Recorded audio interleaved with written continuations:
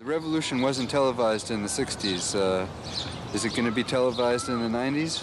Well, you know, the, the, the catchphrase, what that was all about, uh, the revolution will not be televised, that was about the fact that the first change that takes place is in your mind.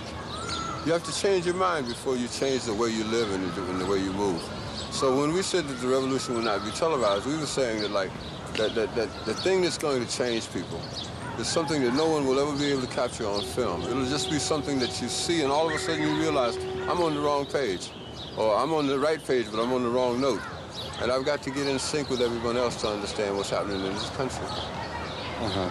But I think that the black Americans have been the, the, the only real die-hard Americans here because we, we're the only ones who, who've carried the process through the process. That everyone else has sort of like skipped stages.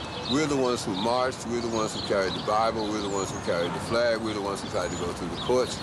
And, and, and, and being born American didn't, didn't seem to matter because we were born Americans, but we still had to fight for what we were looking for. And we still had to go through those channels and those processes.